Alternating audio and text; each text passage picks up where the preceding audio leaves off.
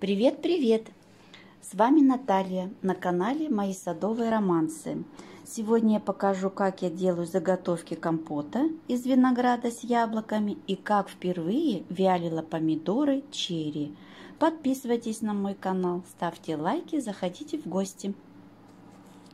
Итак, помидоры черри я порезала пополам, разложила аккуратно на лоточки для сушки, посолила, посыпала душистыми специями, которые у меня были дома, и в течение двух дней я их вялила, периодически включая, выключая. Итак, берем зубки чеснока, чистим, мелко режем, берем наши вяленые помидоры – и приготавливаем баночки, в которые будем складывать.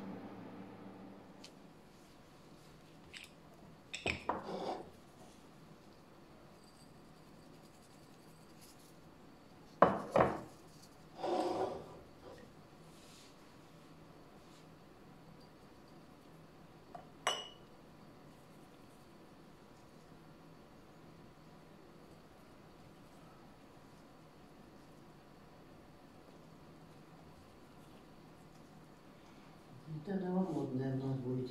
Да, это какой-то там... Сейчас это прям писк такой в интернете. Все без ума готовят вяленые помидоры. Ну вот попробуем, что это такое. Ну это так, баловство, деликатес. Как бы оно... Нет, я не думаю, что это такое прям не знаю какое.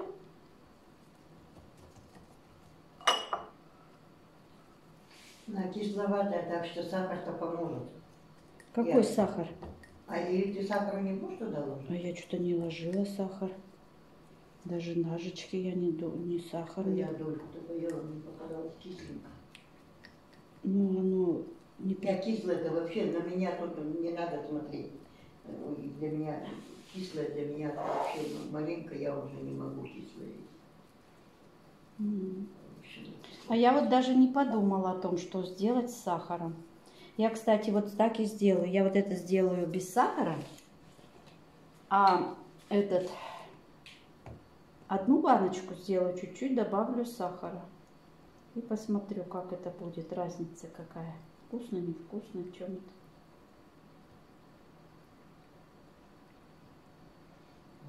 Да, масла-то много.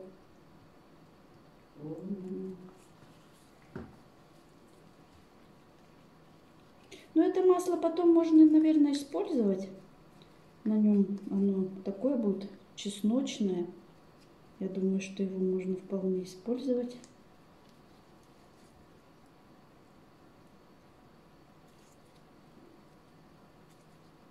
Так, вот еще добавлю. Апельсиночки добавлю.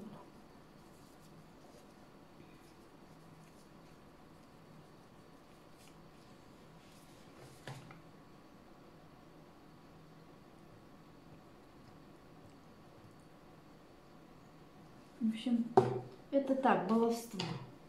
Баловство. Баловство полное. Во-первых, и времени на это много уходит. И, скажем так, я не знаю, что, что такого такого деликатесного, не знаю.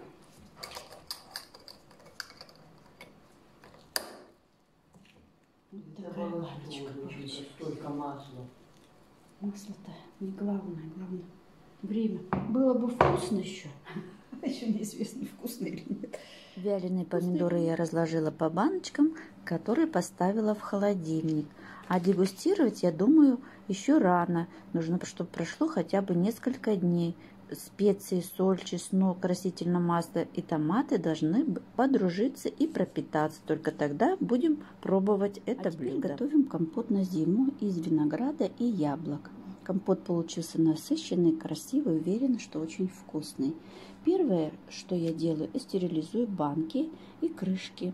Я это делаю по старинке над паром, вот таким образом. Затем яблочки режу на дольки, убираю сердцевинку, виноград мою очень тщательно, э, делю его на соцветия и все складываю в баночки. В это время у меня закипает сироп. Воду я отмеряю заранее И на литр я кладу 300 грамм сахара. Сиропчик э, тщательно размешиваем, доводим до кипения, чтобы сахар хорошо растворился. Вот таким образом.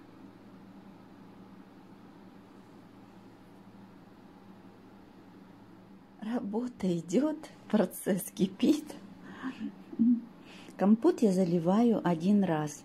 Яблочки нарезаны, виноград мелкий, поэтому считаю, что этого достаточно. Муж в помощниках, не люблю закатывать баночки. Ну вот на этом все, друзья. Подписывайтесь на канал, приходите в гости, всегда рада. Всего вам доброго, всего хорошего.